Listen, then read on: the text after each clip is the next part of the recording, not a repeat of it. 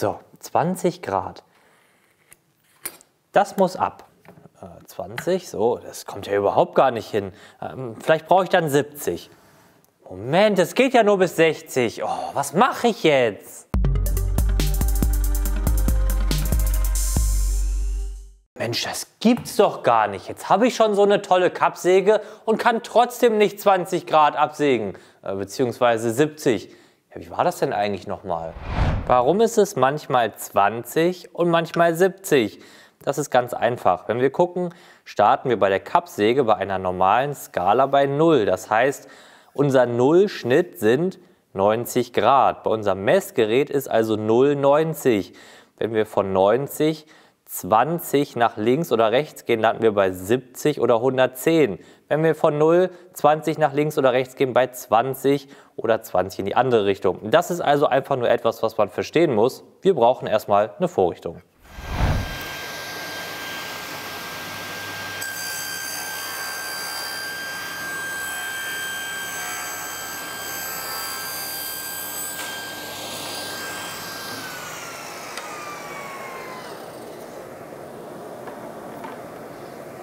Um andere Winkel sägen zu können, müssen wir den Anschlagspunkt verändern. Was bedeutet das? Unser Material liegt immer an diesem Anschlag. Das gibt dann wiederum die Winkel vor, die wir hier stehen haben. Wenn wir den Punkt aber ändern, können wir andere Winkel sägen. Was bedeutet das? Egal, das seht ihr gleich. Wir nehmen wirklich einfach nur ein Reststück MDF weil es einfach nur ein ganz einfacher Anschlag ist. Und wir nehmen diese kleine neue Kappsäge von Festool aus einem ganz einfachen Grund. Wir müssen unseren Anschlag an beiden Seiten festmachen. Und ich nehme die, weil ich sie habe und hier die Möglichkeit habe, sowohl Digga, voll den Finger eingeklemmt. Sowohl auf der linken als auch auf der rechten Seite den Anschlag jetzt gleich einmal festzuspannen. Wenn ihr nicht die Möglichkeit habt, rechts und links Spanner zu nehmen, könnt ihr diesen Anschlag auch temporär festkleben oder euch eine andere Lösung überlegen, wie ihr das wirklich noch fester anbaut. Festkleben geht, zwei Zwingen sind besser. Jetzt brauchen wir 45 Grad.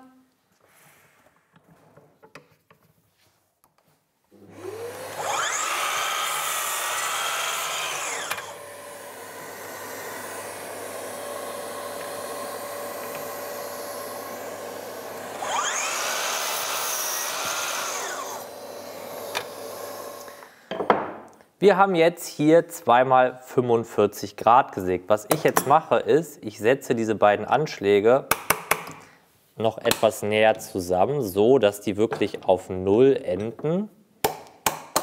Aber was nu? Wie lege ich jetzt an? Theoretisch gesehen tatsächlich so. Wir sehen aber, so haut das mit dem Schnitt nicht hin. Ist ja klar, weil wir jetzt hier 45 haben. Um jetzt auf unsere 70 zu kommen, müssen wir mindestens noch 25 hinzufügen. Also so. Huch. Hello. So. Und wenn wir das jetzt anlegen, dann haben wir genau den Schnittwinkel, den wir haben wollen. Und ein kleines Problem.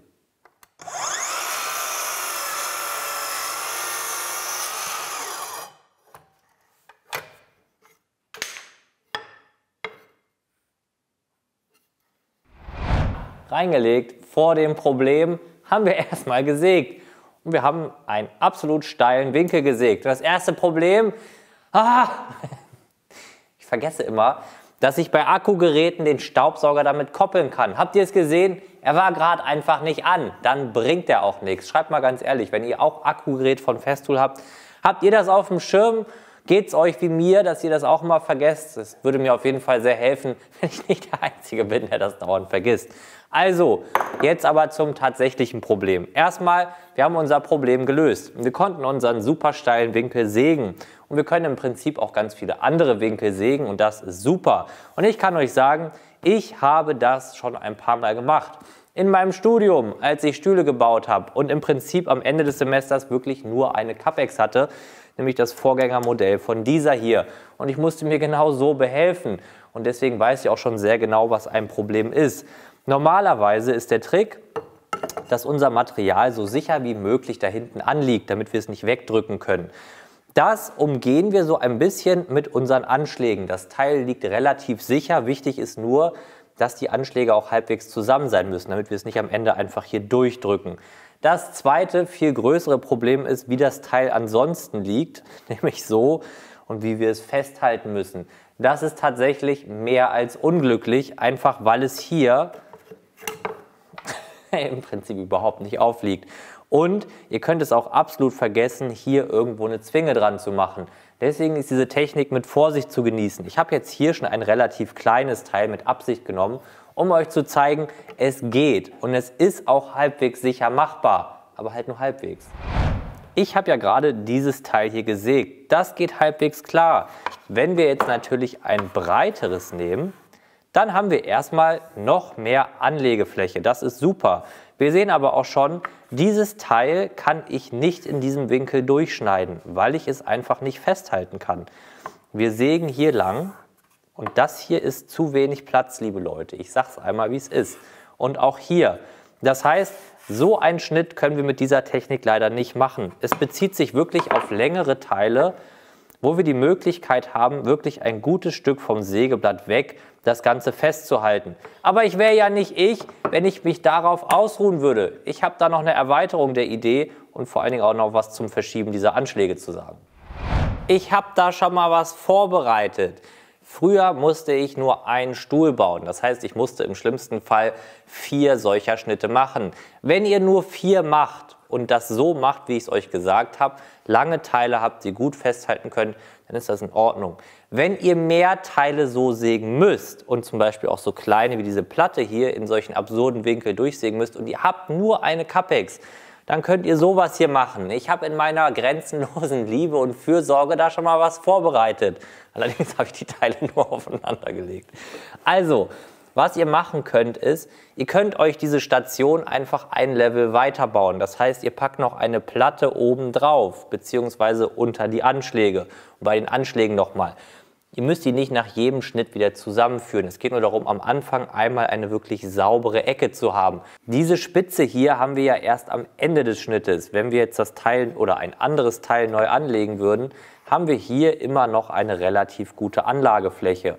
Und so weit ist auch erstmal alles gut. Wir sehen, hier ist eigentlich überall genug Druck. Wir müssen halt das Teil so ein bisschen nach unten drücken, weil wie wir hier sehen, da dürfen wir nicht festhalten, was logisch ist, weil wir sehen hier schon das verräterische Licht. Bau, hier kommt das Sägeblatt runter. Das heißt, das Festhalten ist wirklich das größte Problem. Wenn wir das jetzt so machen, dann müsst ihr euch eine Möglichkeit überlegen, wie ihr diese Platte hier an der Station festkriegt. Bei mir wäre das ganz einfach. Meine Kappsäge ist hier eingebaut. Ich könnte also hier und auf der anderen Seite einfach in die Werkbänke daneben schrauben und alles wäre tippitoppi fest. Und das Beste ist, wir können natürlich trotzdem unsere, Moment, wo ist der Knopf? Kappsäge immer noch verstellen. Und dann würde sich diese Platte auch nicht bewegen.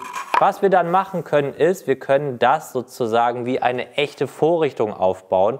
Wir richten das einmal aus mit einem Laser oder Schatten oder indem ihr das Sägeblatt mal sägt, sägt, senkt erstmal, noch nicht sägt, könnt ihr sehen, wo ihr sägt und dann könnt ihr euch auf eure MDF-Platte so kleine Kniehebelspanner packen und schwupps müsst ihr gar nichts mehr festhalten. Das Teil kann nicht wegfliegen, weil ihr Anschläge habt.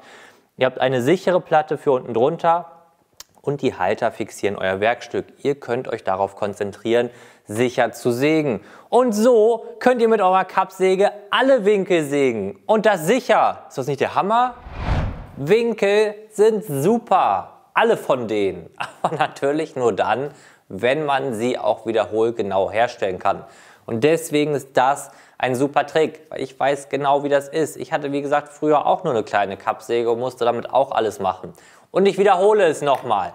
Vier Schnitte dürft ihr machen mit der einfachen Vorrichtung. Am fünften Schnitt komme ich durchs Fenster gesprungen und dann schmeiße ich da eine MDF-Platte drunter, wenn ich das sehe dann müsst ihr das bitte anders machen. Baut euch bitte die Platte darunter.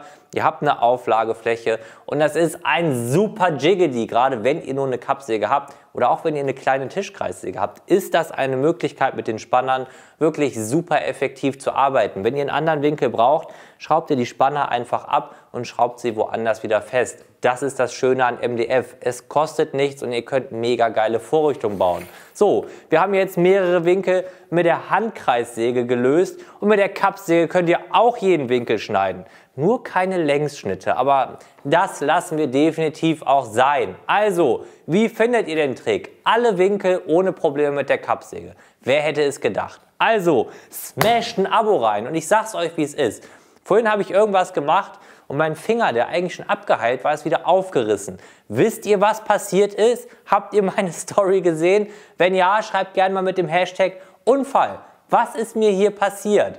Wie konnte es dazu kommen? Wir sehen uns auf jeden Fall am Mittwoch wieder und dann bitte ohne Pflaster, weil langsam nervt. Also, tschüss!